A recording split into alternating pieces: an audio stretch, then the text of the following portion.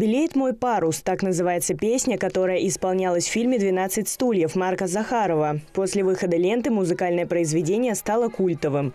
Одноименное название получил и фестиваль, который впервые проводился в честь 80-летия со дня рождения актера Андрея Миронова, игравшего Остапа. В этом году вечер посвятили творчеству Эльдара Рязанова.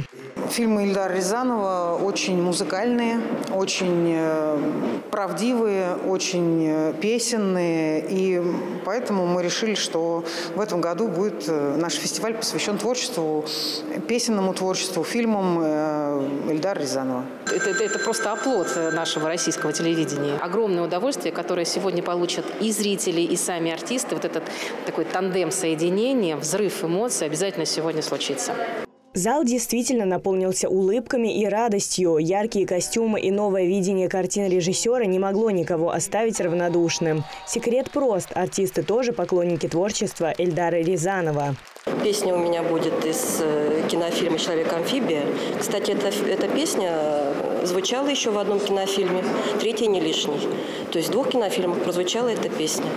Танцевальный коллектив исполнил цыганский танец из фильма «Жестокий романс». Яркие платья с алыми розами и грациозные движения переносят зрителей в события киноленты.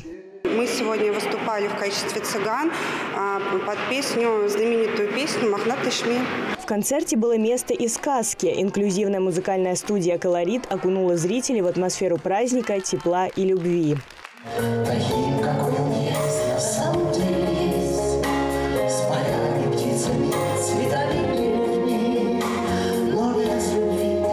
у нас из кинофильма «Чародеи» про любовь, как раз к 8 марта.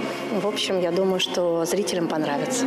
Не обошлось и без всеми любимого эпизода из фильма «Карнавал», где Нина ждет звонка от возлюбленного, но уже понимает, что это напрасно. Культовая сцена, сыгранная на новый лад, захватила зрителей не меньше оригинала. Хочу я слышать голос, хочу я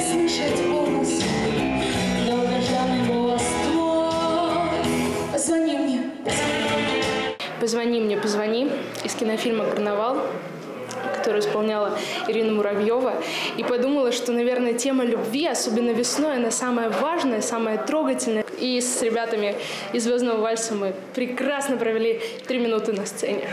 С героями фильмов Эльдара Рязанова смеялись и плакали взрослые и дети по всей России. Его киноленты отличаются искренностью, эмоциональностью, остроумными шутками. Вечер в ДК стал возможностью вновь окунуться в любимые произведения.